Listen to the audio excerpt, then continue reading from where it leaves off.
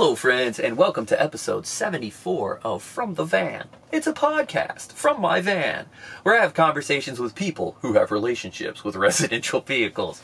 I'm your host, Marty Benson, and today's episode features Miles from Light Harvest Solar. Light Harvest is a Portland based solar electric company that at the moment uh, primarily specializes in medium to small uh, solutions for off grid solar electric systems.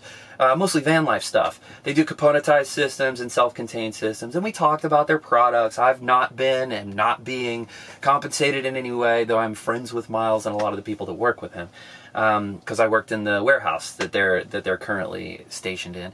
Uh, we had a really great conversation about um, where his electric company came from and where he's hoping that it'll go eventually. Uh, and we originally sort of bonded over um, a shared love of oversizing a solar array, and then also um, the shared ambition of eventually figuring out how to do a living situation that is truly off grid. That's not even necessarily about uh, modular living or, or vehicular dwelling, uh, but just purely, truly off grid systems. Um, I hope that you enjoy episode 74 featuring Miles of Light Harvest Solar.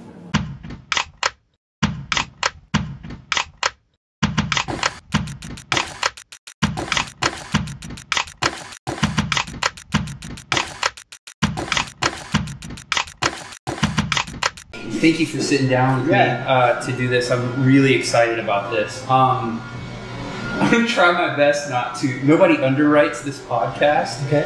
And so uh, basically, what we talk about is whatever I want to talk about, and whatever my guest wants to talk about. Sure. I'm going to do my best not to uh, just use this as like a unpaid consulting hour. Okay, whatever. Yeah, right. Um, so, uh, Miles, you run Light Harvest Solar. Mhm. How old is the company? Uh, about eight eight years now, maybe coming up on nine. Okay. Eight and a half, nine years. Yeah. Um, and did you start in Portland? Uh huh. Okay. Yeah, I started Green Acres over there. Yeah. Uh huh. Oh, so we're on the, well, depending on how you look at it, the south or east side of the St. John's Bridge, That's right. and uh, you were on the on the same side of the river North, right. But the northwest northwest side. side Right, before, yeah. like 300 yards away or Yeah, whatever. super close. Uh-huh. Cool. Um, how did you get into like what made you want to start this company? Um, you know, I was in engineering school and I needed money. Okay. And I knew the price where solar was uh, competitive with fossil fuels. It had been a known quantity for a long time, right? Uh-huh. And the first time I saw that, I took every cent I had and bought a pallet of solar panels, and then um, sold it in like four days, and then put all the money back into the bought more solar panels and put all my money back in, all my money back in, all my money back in, and that's the that's the story. Wow. All the money back in. So you just back in. basically were like flipping solar panels from out of the country. No, I got? I, I bought I bought them in quantity Okay. and then sold them in low quantity. You know, Yeah. doled them out ones Yeah. and twosies kind of thing. Okay. And then um, yeah, out of my house, basically out of my garage, Wild. and then uh, said uh, and then rented that uh, a container, a shipping container. Uh-huh. And uh, at the time there was no electricity there, so I set it all up off grid, um, and uh, you know grew, got another container, grew, got another container, grew, got another one, grew, got another shop, got employees, did all the stuff you got to do to Yeah. to get that kind of thing rolling, and. Um, yeah, things just continued to increase and increase and increase. That's crazy. So you went from being like a, basically a sole proprietor, uh, retail reseller, buying it wholesale and selling it res- Mhm. resale, Mhm. to what you are now, which is basically you're developing Now we're developing self-contained yeah, products. Now, yeah, now Right. we now we- got our own brand. Uh huh. Okay. So uh, what are you excited about right now? What are you guys What are you guys doing? Give us Well, an overview of the um, company. You know, it's uh, so we're we're off grid.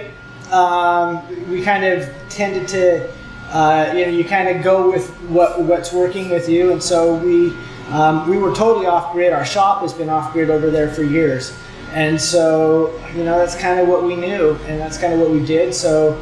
Um, you know, we specialize in off grid. Uh, in through that time, through various you know shows and customers and just momentum in general, we um, kind of got a niche of uh, van life and uh, that's really what's uh, jumped out, and, and that's most of our business. So what it ends up being right now is we do mostly kits, uh, and solar on, on vans, as you probably know, is fairly technical. And lots of pieces and tiny pieces that have to fit the medium pieces that have to fit the big pieces that have to fit everything.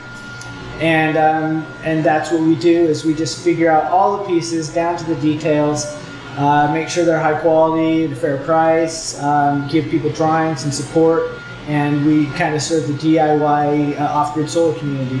And um, and then you know we're moving now into uh, having all-in-one products that are a lot more plug and play, and, and they're just the good ones are just starting to come out that are powerful enough for us to be able to power more than just like your phones or like a little you know thing at your campsite or lights or something like that. We're getting into now fridges and air conditioning Right. and cooking, particularly the the stuff that was made me start to transition into this is being able to cook and do hot water and do the big stuff that you have to do effectively and um, and also of course I'm a solar company so I recognize how important the generation is and you and I have had had um, lots of conversations about how generation is really more important than storage Sure. right? And if you're not generating the power, it's like you have a gas, the battery's the gas tank, the solar is the gas pump. You know, you can have a, a hundred thousand gallon gas tank, but it doesn't do you good any good if you're just getting a trickle out of the gas pump. Right. So, um, so these are starting to get to. This has 700 watts input. Uh, which is really um, enough to have a solid system for a van and things like that. Uh, so, so we're doing componentized systems for the bigger stuff. We're doing these for the small, for the medium to small stuff, and um, and yeah, solar's constantly moving at a million miles an hour. Yeah, it's crazy how fast that. I want to talk about these self-contained units in a minute, but I feel like uh, just for the benefit of anybody who might be listening, that's that's not tracking completely what what you're saying. Uh-huh. We're blasting past some things pretty fast. Let's talk about uh, if I order a kit from you. Um, what components are you sending to me and to what degree are, is it already assembled right? We're talking we're talking batteries we're talking inverters uh, fuse banks breakers maybe a bus bar if you use those. We use yeah, um, uh, these are all things you really have to have a decent amount of know-how yeah. to put together. Um, but to what degree is it assembled if i order it from you? Are you sending me the Yeah. things and and the instructions on how to Yeah. put all the fittings together and stuff Yeah, so uh, the way we do it is um, we'll send you all the components. Well, let's start from the beginning. Basically, we've got a questionnaire that will give us a pretty good idea of your needs. what size you need what size and everything like that. And, and the things that there's a few major components that you have to decide what you want. Your solar, your how many batteries you want, how big of an inverter you want. If you want an inverter charger, so you want to be able to charge from the outside world, um, alternator charging, and then um, and then a bunch of details like DC distribute, AC DC distribution, and things like that. So with those, once we figure out that, those parameters, we have templates that have all these different combinations of number of batteries with number of inverters with or with inverter with solar panels and things like that and um, they've all got schematics and things like that so we uh, you know say this is what we think you'll want send you a um, uh, an estimate based on that, and uh, then you know there's a back and forth, any kind of questions that people have, um, and then we figure out the hard stuff because what the customers I found over time, the, there's a skill set involved with figuring out wire size. Um, you know, you've got to know how big all the holes are to fit the lugs for every component, right? And you've got to have high quality stuff. Um, and it, there's a lot of trial and error in trying to figure it out because you get on Amazon and you, or you get on the internet and there's a thousand people saying a thousand things and they contradict each other a lot. Lots of times people did it once so they really think they know. Um, you know, we've had lots of issues with things like low quality breakers.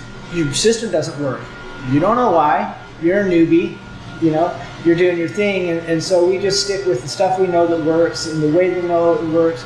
We put a lot of effort into making it simple and intuitive, and um, and then we give you a drawing that matches all the stuff that you have, which you know component A matches component B matches component C matches component D. Um, so we don't have instructions per se because everything's so custom. Sure. Right? But what we do is we send you a schematic drawing that's going to match it. Right. Um, you know the customer has to learn things like how to crimp a wire is real important. Sure. Stuff like just best practice of routing the wires and securing them, and um, that kind of thing. And then we just we we crate it up in a big wooden crate, send it on a semi truck. You get it, open it up, everything's there, and um, you know we've had great luck with it. Yeah. yeah. People have been able to um, step up to the plate and, and make their systems and you know, uh, it just keeps getting better and better. So I'm assuming that people are happy. They seem to be. And reviews are really, really good. And Super cool. yeah, Yeah. So that's that's what we do. We just kind of we do we do we do all the work that that people would have a really hard time figuring out, Right. and then give it to them, and it works good. And Sure. that's it's our, super that's time consuming. Um, and then to figure all of this stuff Super out. time consuming. And then you've got people on YouTube with conflicting stories about what they've done Right. and no really, not really any quality control. Right. And, uh, and the, the thing that I tell people is that I spent the majority in my build, the majority of my time and money on my electrical system because a poorly built cabinet can't kill me. Yeah, Right. right. And so that's that's super cool. You send everything down to Down lugs the and lug. washers and everything. Lugs, wires, breakers, fuses. Yeah. um, all the major components. Like I said, the panels are going to match your charge controller. We got the we've got big, powerful distribution, and and a lot of the details. Like I said, have just been this trial and error over time. Finding what works, finding what's easiest, finding what's the highest performing, making sure all of the specifications for the power that's being transmitted around is within the parameters, and, and that's where people make the mistakes. Is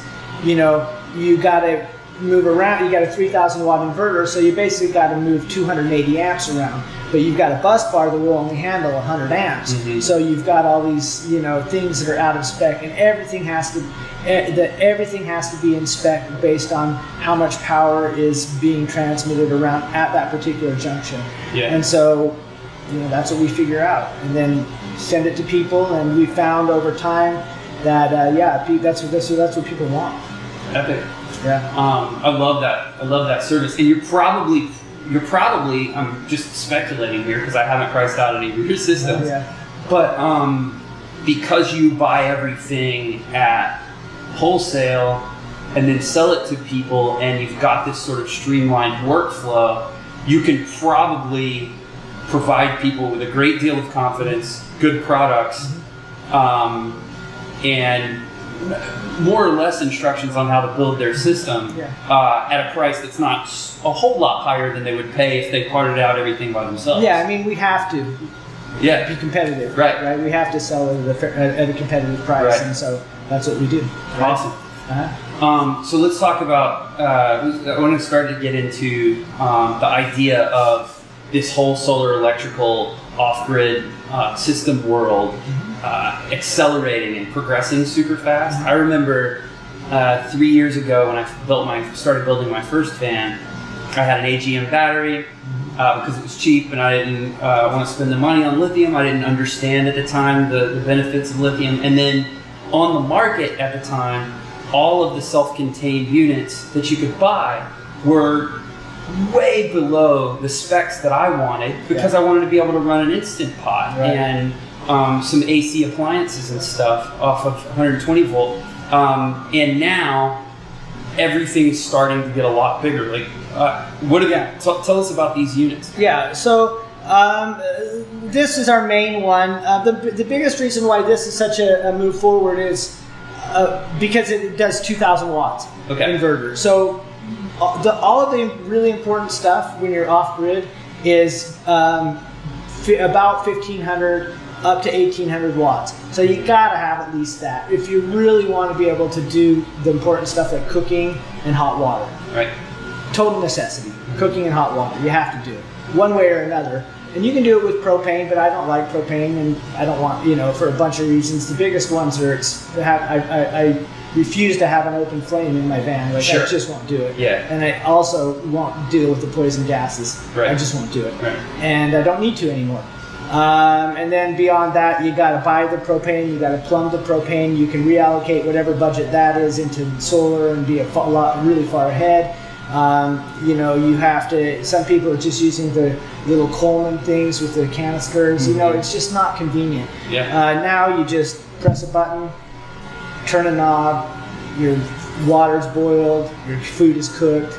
You know, we can do uh, induction cook stoves, we can do toaster ovens, we can do microwaves, we can do, you know, all kinds of stuff you really can't even do propane. Uh, Jared Tachi did a Brava oven, Mhm. which is a super fancy convection thing. you Right, know, it's- right, right. And it, it had no problem. So um, there's just so, along with that, you know, my heated blankets I have to use. I, Mhm. I'll constantly try to talk people into that. Mm-hmm. Um, and Do you have get AC one- or DC heated blankets? AC. Okay. Mhm. I run an AC fridge too, Oh, really? hmm Okay. because I don't, you know, they're so the DC fridges are 800 bucks, right. and they're more efficient. But if you've got a good solar input, then this, I never have problems with my fridge on this. Takes a little bit more, but it has no problem keeping up with the solar panels that I have. Sure. and and of course that gets into the solar thing where I'm a huge advocate for as much solar as possible. Right, I and that's where you were talking about generation earlier. Yeah, so I, I run a 345 watt panel. Um, our most popular panel that we sell is a 400 watt single panel, Mhm. um, and uh, that goes on top of ProMasters and Sprinters and vans of all sorts. It'll fit anything with two fans, one of those. And uh, yeah, our typical um, our typical kit is you know a 400 watt panel, usually a 3000 watt inverter charger, um, alternator charging at 30 amps, and three batteries, sometimes four, sometimes two, sometimes five, sometimes 6 and um, you put all that stuff together, and uh, yeah, you've got a really functional system that's Sure. all electric. And um, in general, I try to advocate for people not even, you know, like I said, reallocating any kind of propane budget. Just get solar, make it happen, and um, and stay away from all of that. And, and we do really well. And and back to the fridges, I just use an AC fridge. Yeah.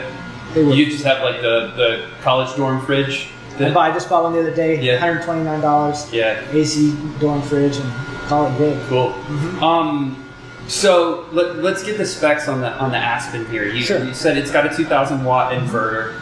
Um, and what else is in there? Yeah. Okay. So uh, the biggest the, the biggest specs that this has is it's a 2,000 watt inverter, two kilowatt hour lithium battery, Mm-hmm. and a 700 watt max solar charge controller, and it'll even go a little bit above that. Okay. So.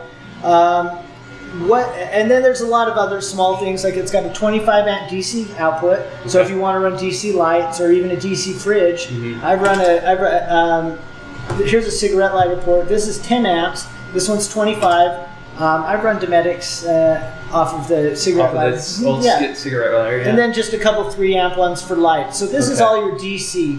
Uh, you have a grand total of uh, 25 here, 10 here, and 6 here. So uh, And, uh, just to interrupt you real quick, I think I was talking to uh, I can't remember if it was you or Mark about the the port on the far left, Uh, the 25 amp guy. Um, do you have fittings that just click in there Yeah. that you don't have to wire in? I think that's no, no, no. cool, Yeah, too. it's a nice, um, it's a nice metal, high quality uh, fitting. You pull the collar back and stick Right. it in, and then you have wires out, so you can run it. Typically, what we do is if it's a full van build, we'll run it to um, an AC/DC box or Right. just a DC fuse panel. Fuse bank, Yeah, okay. and then that will distribute it out to like 12 circuits or something Yeah, like that. right. Very and cool. Then you I can, love that. Yeah, you can run that. And we were running our lights in our shop over there off it. You know, just plug it in, and it's a touch screen. You just turn it on, right?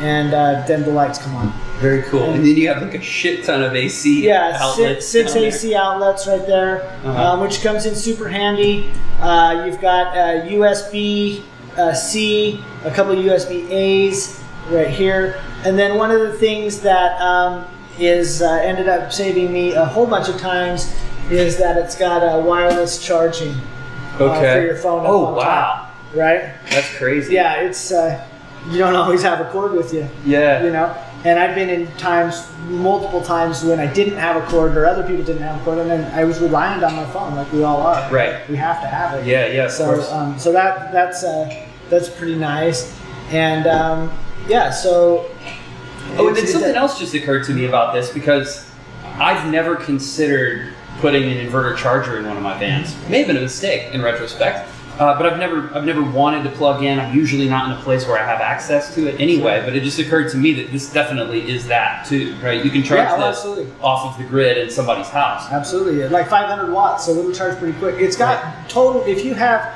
your solar maxed out and uh, your grid power in, you can get you know up to 1200 watts, Right. give or take. You know, Yeah. 11, 1200 watts. So it'll charge real quick. You know, Super fast. super fast if you want it. And then And unlike also- your unlike your kids, you can carry this into the coffee shop. I mean, and, it's kind of heavy. It's kind of heavy, but it's it's uh, portable enough. This one, one of the nice things about this is the more the more uh, performance you get, the heavier it gets. You know, bigger battery, Sure. bigger inverter, bigger charge controller. Mhm. So it's about as big as you can get and still stay portable. Right. And I use it all the time portably. I'll pull it out, set up a table when I do my cooking when I'm camping. Yeah. And um, yeah, I just leave it on the table, and then I do my hot water with a little uh, kettle, and I do I use skillets and things like that to cook Yeah. with. So uh, the portability of it has ended up being really clutch, especially in something like a power outage in your house. Uh, you can just take it in. If you want to build something somewhere where there's no power. Uh, I do that all the time. It'll run any any kind of saw, any kind of drill, Sure. any kind of you know big um, chop saws, whatever you got. Just about any, and, and even although I haven't tried it, I imagine it would run a small welder fine. wow. Right. Um, okay. Well, how about this then? Suppose is is there a way? Uh, obviously, the um, the charge controller that's in there is in there, Mhm. and the inverter that's in there is in there. Is there a way that if you bought one of these and you wanted to expand your storage capacity, Right. can you hook it up to something else? Um, at the moment, no, but you can't. Uh, but what we end up doing is the okay. So these are so much less expensive compared to what you get with the components Mhm. that if you you can actually get like one of these or one of these or we've got a smaller one of these two or two of these and and and have much more capability than you would with buying the components, right? And at Yeah. that point, you've got you know, let's say you have two of these, you have um, four kilowatt hours of battery, you have 1400 watts of solar input, you've got 4000 watts of inverter, and you can charge one from the other with the AC port, right? Right. So, so let's just say this one's full and my solar panel is generating power still, right? Normally it just turns the solar power off. Sure. You don't have the ability to, um, you're not taking advantage of the power that you're generating. So you just plug the other one in, fill that one, and then take advantage of the solar, right? So that's how I, uh, that's how I do that, and it works great. Right. Yeah. Wow. So I didn't even think of that. That, that just made me think of the fact that uh, even if you do have an already uh, built-in uh, standard, and I know people do this with the, the super small uh, uh, jackeries and stuff, um, but you could totally. I could buy one of those, You could put it in my van, plug it into my AC, and just charge it charge it all the constantly, time, right? Because you're in a situation a lot where you're generating a lot more. You fill your batteries. You got Super a fast. super big solar Yeah. and two batteries, so they're full all the time. Right. So you could literally take this into your van, plug it in. It would take you 30 seconds, and um, you'd have two more kilowatt hours. You'd have 2,000 watts more inverter. Um, you could potentially, if you wanted to, put a portable solar panel into it or whatever, Mhm. and you'd have all kinds of DC. You'd have, and, you'd be portable, so you could take it out and Sure. you know, potentially build a van out of it. Right. Easy, right? Yeah. Yeah. Would do any kind of tools or whatever, right? Build so you could in a parking immediately, like, you could, you'd have to cough up the cash, Right. but you could immediately be up and doubled your, du- your capacity. almost double. Everything is almost because we were talking about this is uh, for people who are used to thinking in terms of uh, DC uh, power and sizing batteries and amp hours. This would be roughly equivalent to point, uh, uh, yeah, uh, 170? 170 amp hours. 170 amp hours. Uh-huh. Um, and we were talking the other day. You're coming out with a bigger one of these still. Uh, not, not yet. No, Not yet? We'll- not yet. We're You're gonna, thinking you know, about. When I can. Yeah, when, when we can do it, we will. But they're Yeah. not. There's not. They're not quite out yet. Okay. But yeah. Um, and then the other thing that occurred to me a minute ago when we were talking about this, you're saying that you know these are so much less expensive than your larger kits and stuff. But obviously, the benefit of those is that they're totally modular, meaning I can customize them to whatever I want, right? If I want a, a way oversized battery bank, for Right. example, I can order several batteries and, Right. and still and have a huge uh, like an upgraded alternator and very little solar or no solar if I want it or whatever. Um, but it sounds to me like you're sort of competing with yourself here. When is the self-contained Definitely. unit going to overtake that other part of the business? Um, you know, our, we're still seeing really strong demand for the modular, Mhm. uh, for the for the componentized systems, Mhm. um, and that's still the majority of it. And I think when it's going to overtake it is pretty soon when the capabilities are are totally um, uh, are are on par with each other. In uh, in general, right now, uh, for what we do, this is sort of the the smaller end of, of what is practical for living, Right. right? Yeah. And then as soon as the products start to come out, which which when they do, we'll have them.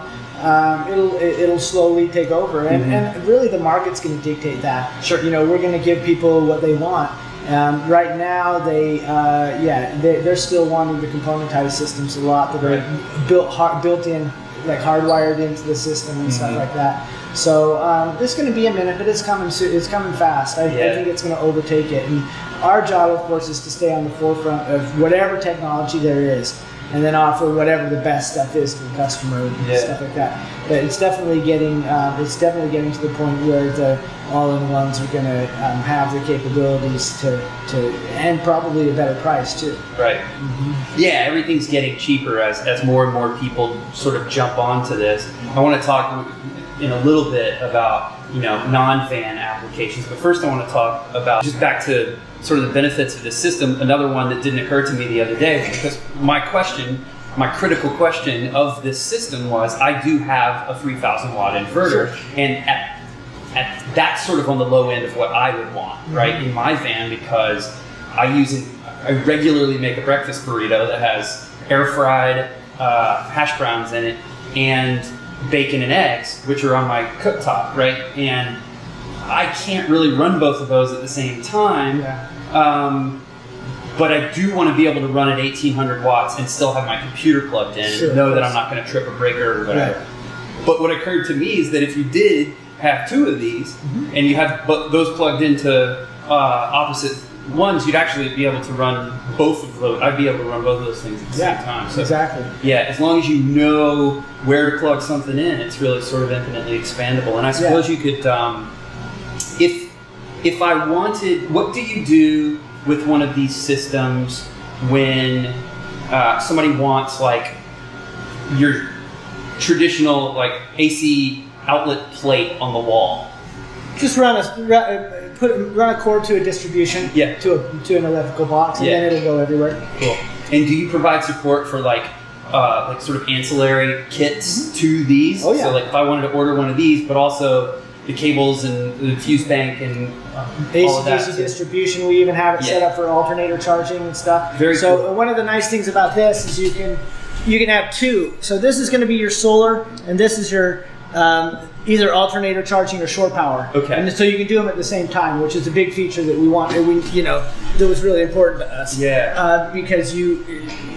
A lot of them are set up. You can either do one or the other, but you can't do both at the same time. Mhm. So we can set this up for alternator charging, and then we'll sell you all the stuff for that, all the wiring, all the fusing, breakers, and um, schematics and stuff like that.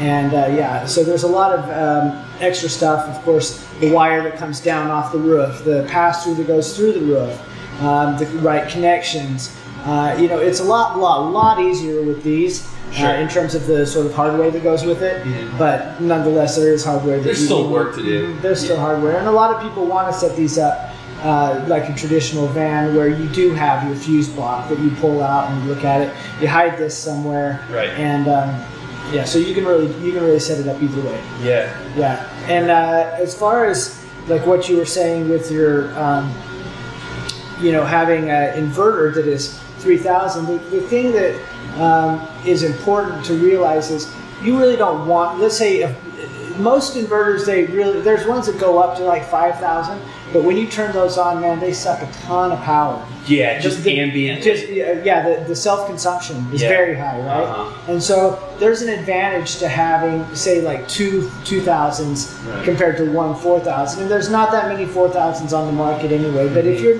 you know if you say are running a USB, right? And you want to kick on a 4000 it's going to suck your power down lickety split right.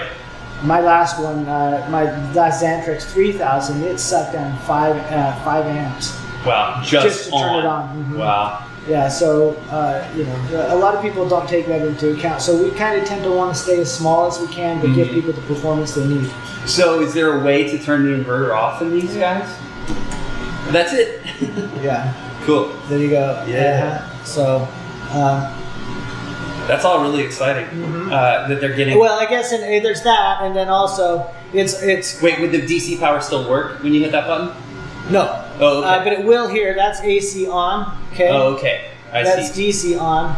So you can turn on either one, either or both, right? Nice. And keep them on or off, which you should. You should keep it off if you don't. If you're not using it, you should keep them. You know, you should keep them off. Yeah. Because it will suck down power and drain your battery fairly rapidly. I mean, you know, depending. And that's why the generation is important because you, you know, you really want to have power in all the time if you can. Right. Mhm. Uh, well, let's yeah, let's talk about generation, and, and this is this is where I get uh, selfish in some questions. Is that I, I have never spent a winter at a high latitude before, Uh-huh. um, and at one point earlier today, even with 800 watts on top of my van, I looked at it, and you know it's uh, early August. We're not that far from the summer solstice Right. and it was overcast and I was only getting 15 amps. And at that time of the day right now, I'm accustomed to getting, you know, 35 or 40 and uh, into my system. Um, what's it going to be like in the winter? I'm, I'm kind of feeling like I'm not going to be able to cook three meals a day all electric in the winter. Definitely. Yeah. Uh, yeah, there's a huge variation Yeah. between um, winter solstice and summer solstice, especially in Oregon, Yeah. because it gets dark, right? Right. Not only is it dark more, but the sunlight is a lot less direct. too. Yeah, an- uh, yeah. The angle it hits you in three ways. The days are shorter, so there's a lot less sun. Mhm. The weather's always way, way worse, and Mm-hmm. um, the angle of the sun is also way down compared. So, so you get hit really hard with solar, um, and it can. You know, normally I'll see zero generation once or twice a year. Oh, right wow. around solar time, uh, around um, winter solstice here when it's dark and gray. Mhm. So yeah, it's a big, it's a huge difference. It can go from zero percent to hundred percent, Right. and expect the whole range. Um, typically in the winter in Oregon, yeah, it's easy to get down to ten percent of your rating, Mhm. right? So that's where um, uh, a lot of things come into play. Like you want as much solar as you can get because when you're in your hard time, you know, you if you size it for best case scenario, you're not going to have anywhere near enough. Sure. And if you size it for worst case scenario, you're going to have more than enough in best case scenario. But a lot of our situation is you do what you can fit on the roof and Yeah. you max it out, right? Sure. And then you lie where you lie. Um, if you're going to be uh, in Alaska in the middle of winter, you very well may need a small generator. Right.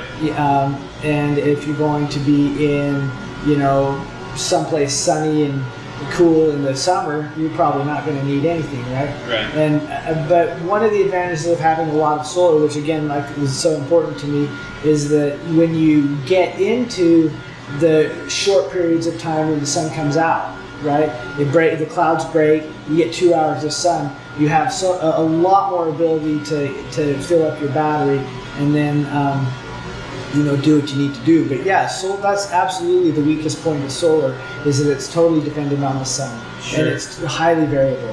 Did you run into trouble with that when you were running your shop off grid Yeah, up here? sure. Yeah. Were you down for days or? No, no, we were never down. We Yeah. did we got we did have a, a grid connection when we needed it, Okay. and that was mostly for heat in the heat in the winter. right.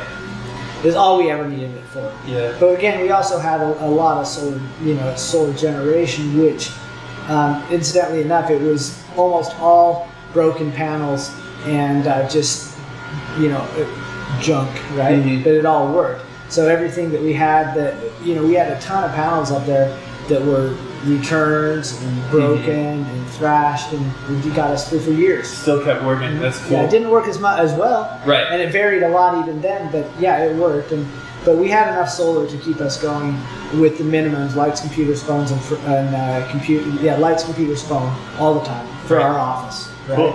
Uh-huh. Uh, oh, this occurred to me while we are talking about something else. What um, what are you using in your systems for uh, for alternator charging? It's like a DC to DC charger. No, this is different than a DC to DC charger. We have a small inverter in there because it's an AC plug. It's an alternating current plug, right? oh no no no not. I'm Oh, talking it- about alternator from the from the van. uh, for, for these? from the van. Yeah. What, what sort of device? Yeah, that's what we're doing. So it's an inverter, just Oh. a standard inverter. So so the, the, the way to charge it is a plug wall wall charger, right? Mhm. So instead of using a DC to DC, which is essentially the same thing, we use a 120 volt AC inverter. So it's 12 volt DC to 120 AC, and then you just plug in the wall charger. Wait, I think we're missing each other. How do you charge this off of the van Yeah, that's while the right. van is running? Oh God, Yeah, I'm that- confused. Yeah.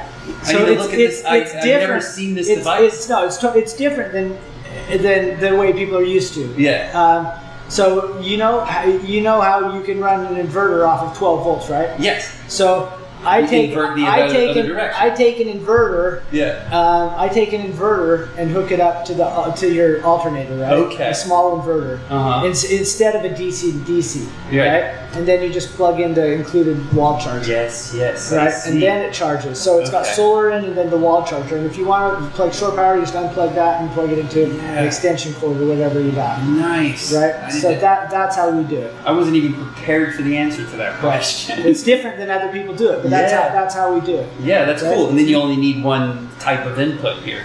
Uh huh. Right. Right. Yeah. Yeah. And you can then you have your solar and your thing. So it's it's um it's a little bit different what people are used to, but it works good. And, Mm-hmm. it, and it also has a couple advantages in that a DC to DC charger always prioritizes the DC to DC charger if you're driving. Okay. Oh. So if you're if you're um, in a situation where you've run your battery down through the night, okay, you've got all day for a nice sunny day, right? But you're also driving. You're gonna um, you're gonna start driving, and your DC to DC is gonna charge your battery. Maybe it takes three or four hours, or whatever it takes, and it's full. But your solar's still generating, but it turns off. So you've essentially wasted the gas to fill those batteries because it's always on. Yeah. The way we do this is we just keep it totally turned off until we need it, right? And if we need it, then we can turn it on. Um, that way, it prioritizes the solar over the um, over the you know wasting the gas to generate the power to charge the thing, right? Sure. So we just don't even we just don't even use alternator charging unless we need it, That's which cool. isn't all that often, Right. but sometimes, Yeah. yeah. So that that's the way we've set it up. It's a different way of setting it up, but it works good. Awesome. Yeah. Yeah, I hadn't even heard of that before. Uh-huh. Took me a minute to process it. Yeah. Um, tell me about your vans. Um, you know, I got uh, I um, I have Astros, uh, Yeah. a Safari and an Astro, and um, yeah, I've got a lifted uh, a five it's five inch lift and thirties and some shocks on the, on a um, a nice Safari van. And This is the green one, right? uh it's my daily driver too, so Yeah. um, I don't um, you know quite have. Well, there's a couple things. I live in the deep in the mountains, like high mountains. Up your Telluride, right? Mm-hmm, Yeah. yeah. Telluride, and so I need four wheel drive, yeah, or all wheel. This one's all wheel drive, but um, I do a lot of a lot of uh, you know pretty burly trails, uh, and I and, and it's totally capable up to anything you need a low gear for. Mhm. Right? It'll do. It'll get way up in the mountains and stuff that even a even a fully lifted all wheel four wheel drive Sprinter like totally decked out wouldn't wouldn't do. Right. And so, um, and that's what I do. I've got a fridge in there. I've got my solar panel. I use these systems, and Mm-hmm. um, and uh, I, I, I use a blow up mattress, which is another thing with a uh, power system in there. You just blow it up. Takes you 30 seconds, and then I and you can decon it and be up and ba- up and down real quick and easy. Yeah. So now we've got it set up where we can. Um, we can. We've got one big huge tote with everything in it. We just throw it in the van. We can do our Saturday chores at home Mhm. um, be out and be to a site multiple places. We can get out. To, we can we can get out to Moab, Mhm. and um, you know we can do our, our Saturday chores and be out to Moab in the same day, Yeah. and then and then back. by by the weekend. You know, so so we that's how we tend to do it a lot. Cool. And then the extended trips, um, yeah, we just take a lot of we just take a lot of power. We can get we've got a huge radius around us that is like A plus stuff that it, that it's real easy to get to. Yeah. Yeah, and we had a great great time with that. So I don't need to ask why you live there, um, but why is your because it's rad? Why is your business in Portland? Because that's where it started. Yeah. That's where my crew is. Mm-hmm. Yeah, and it's much more um, where I live so far out in the middle of nowhere. Yeah. So far out in the middle of nowhere that there's no, it's just not possible. Yeah. I could do it in a town that is like an hour away, Yeah. but that's the only option. Right. Right. Right. Yeah. Shipping and receiving is easier here. There's- you don't have to relocate Uh, anybody. and all my like, yeah, that's exactly right. yeah. Lot, lots of things like that, I and we've got a great crew, and they do a great job, and have the whole time, and uh, yeah. Yeah. Um, as you know, I'm friends with the folks at over at Nomadic Customs, and I'm uh, I'm really I'm really excited to see what comes out of you guys being in such, such Yeah. clo- close proximity. You just moved into the third bay in the same building with them, Uh-huh. and it's uh, I know that you guys have a pretty close working relationship.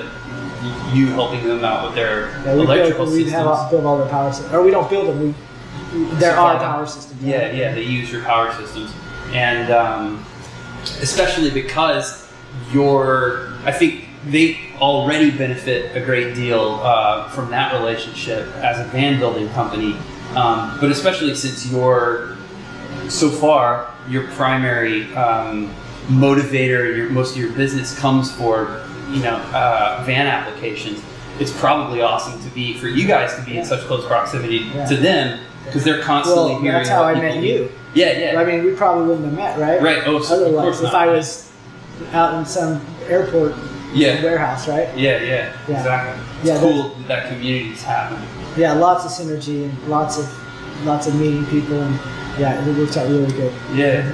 Cool. Um, all right, now here, finally, we get to talk about what I really want to talk about. Okay. Which is um, this. You and I have sort of been uh, uh, shooting the shit about like a totally. I'm really, I'm really sort of starting to become more and more interested in non-van, off-grid, sort of s- completely self-contained um, living situations and. Uh, you were talking about not only you know electrical obviously we can we can go off grid pretty easily these days and you know panels are getting more efficient batteries are getting bigger and cheaper and all of that um, but you mentioned an incinerating toilet to me the other day and I I never thought I'd spend so much time talking about a toilet Right. uh, and the other thing that's really sexy to me about about uh, a structure, a static structure somewhere, is that usually they're more than 60 square feet, Mm-hmm. and so you can get a whole lot more than 900 watts of solar That's on right. top of Yeah. it, right? Um, so, what do you what what's the future of a completely self-contained dwelling? Yeah, I mean it, it's uh, incredibly bright. Um, it's you know revolutionary if you want to go down that road um, because the the the uh, capabilities are basically endless. Mhm. Um, and uh, you know what you were talking about is the toilets, and that's kind of like the bane of humanity's existence for all of time. It's how we get each other sick. tons of pla- yeah it It's how we pollute the ocean. yeah, our mortality rates it affects them really bad it had all kinds of major problems lots of the world is still trying to deal with their waste right Mhm. and um, and uh, you know so i just kind of went on the tangent of um, well i've been on it for a long time but the, the, as stuff emerges the capabilities become better and, and at this point um, you know incinerating toilets take a lot of power but you can generate a lot of power. You can store a lot of power. You can do a lot of things. So um, you know that kind of the, it- it's an unlimited it's an unlimited thing. Like you could potentially have let's say there's a national park somewhere right? Everybody knows how gross those toilets are right?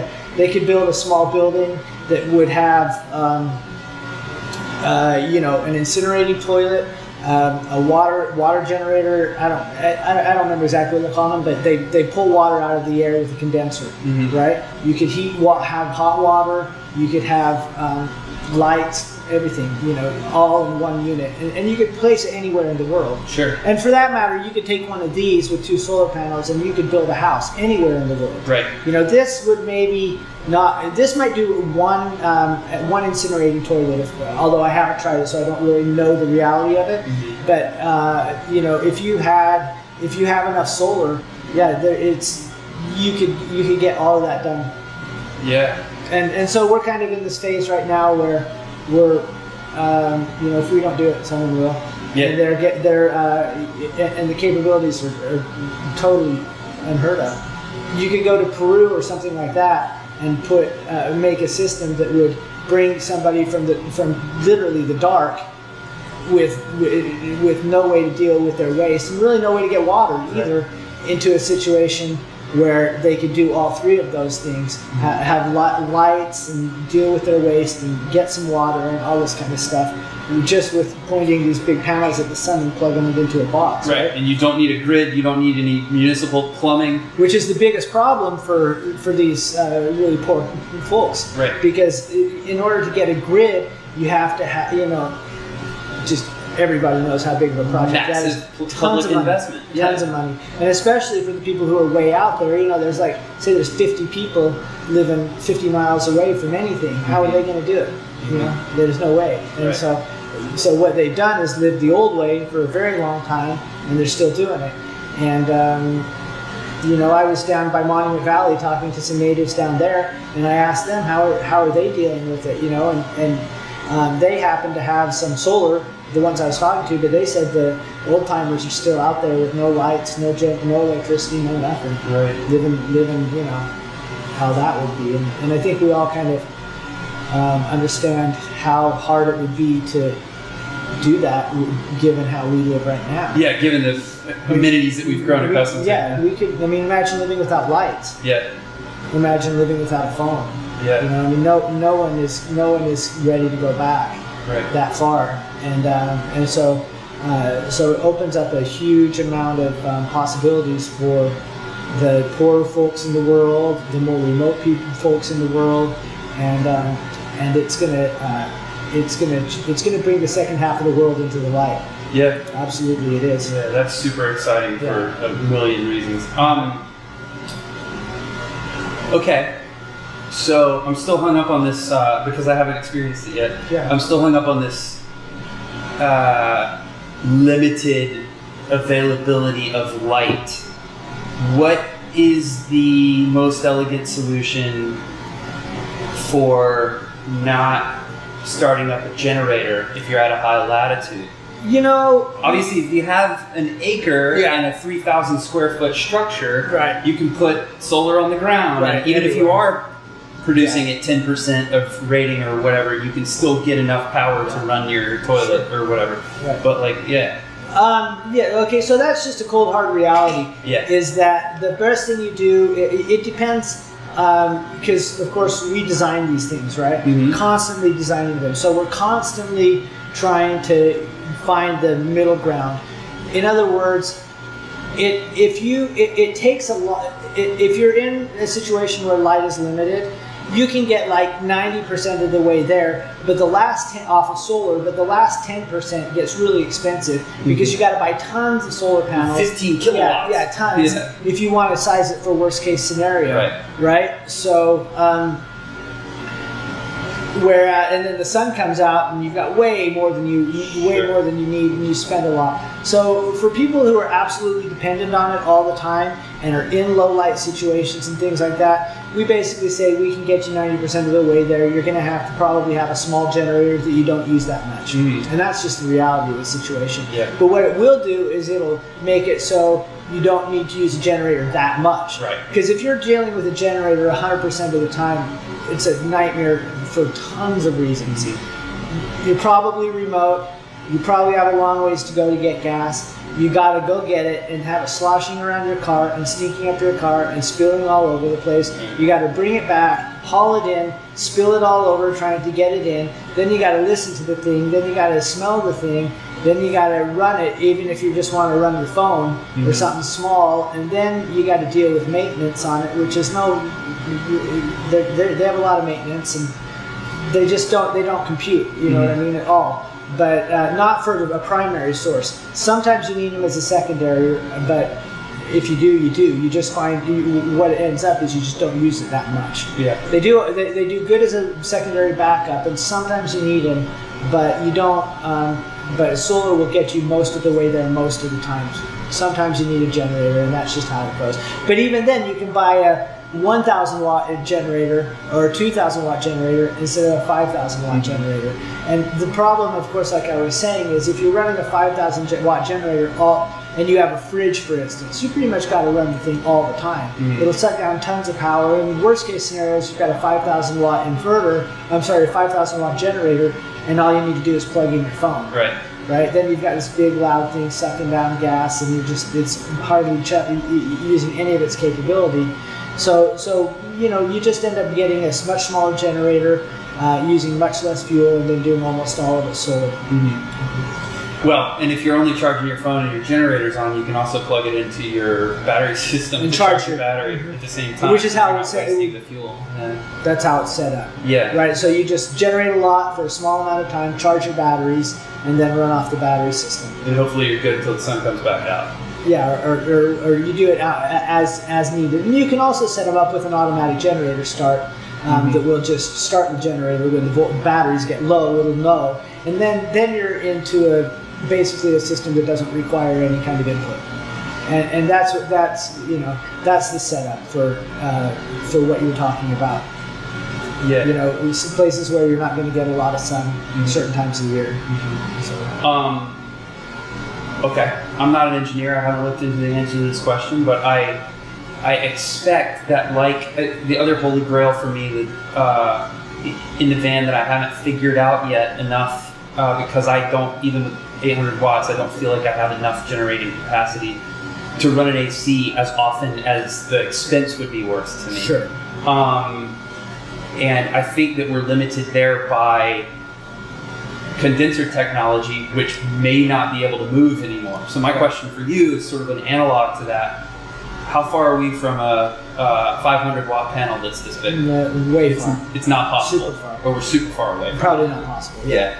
Yeah, I mean, there might be some kind of revolutionary thing, but it would have to be absolutely revolutionary. Yeah. Because even the best things right now are like, um, you know, 400 watts for, I think it's uh, 65 inches by 44 inches or something like Mhm. that. And it's, it, get, it, it incrementally, it gets better about 5% a year, Okay. give or take. And I don't know if there's, I don't know what the ceiling is.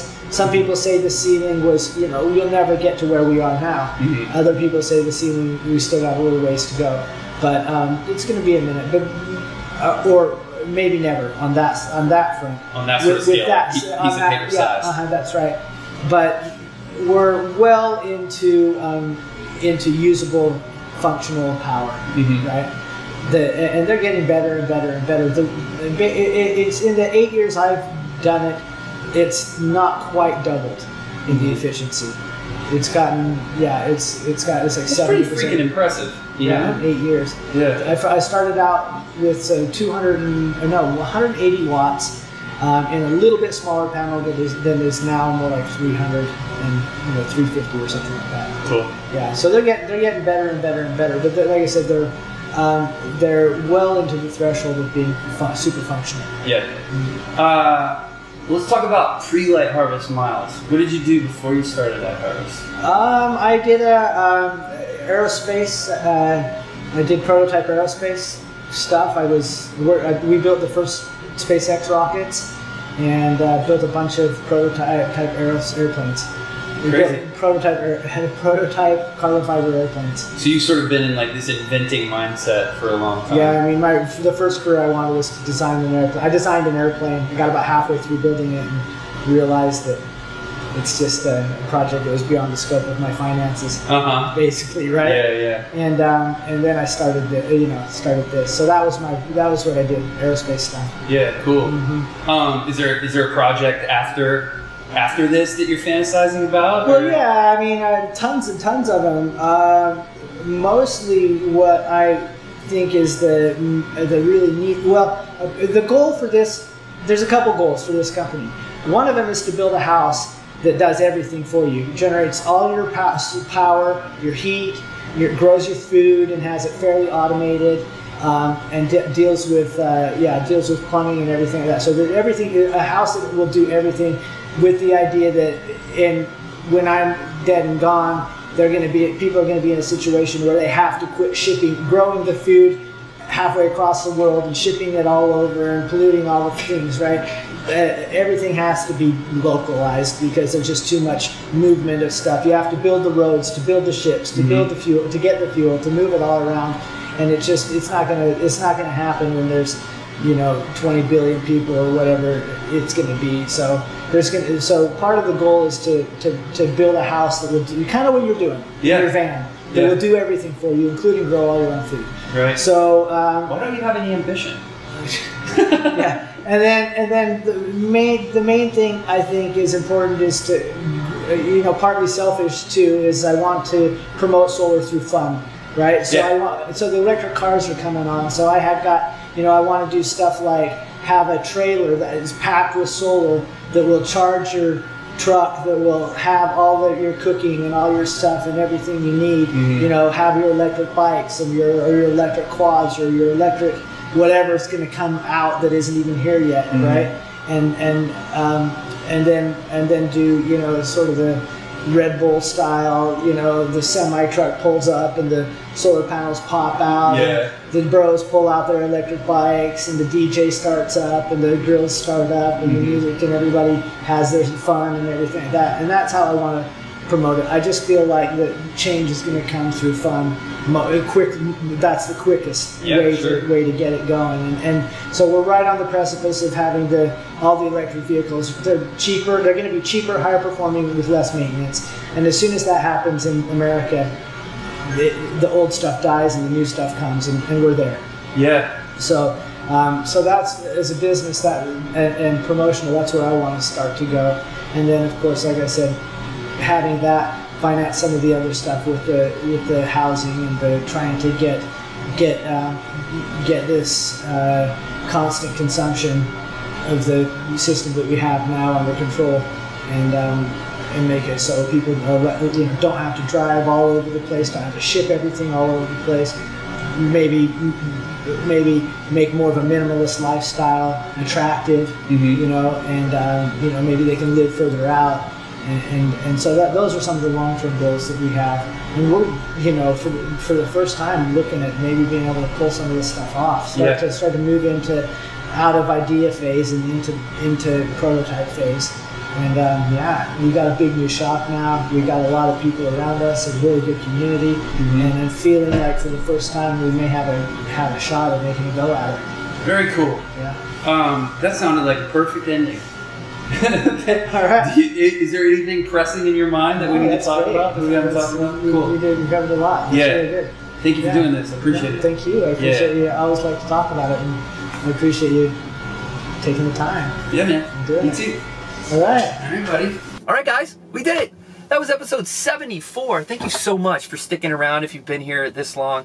Uh, Miles and I had a wonderful conversation on the podcast, and uh, this happens delightfully often. We turned the recording equipment off, and the two of us got on Amazon and I believe Zillow and started looking for uh, land and like atmospheric water generators, which we didn't get into the episode. Uh, Google that; it's super interesting. Um, and then the incinerating toilets and sort of trying to part out what it would take to really have a, a spot that didn't require any plumbing and sewer or electrical. Uh, and so the two of us nerded out for a couple of hours. It was wonderful to talk to him, uh, both on and off of the podcast. I hope that you enjoyed it, and uh, come back next week. We'll have another episode for you.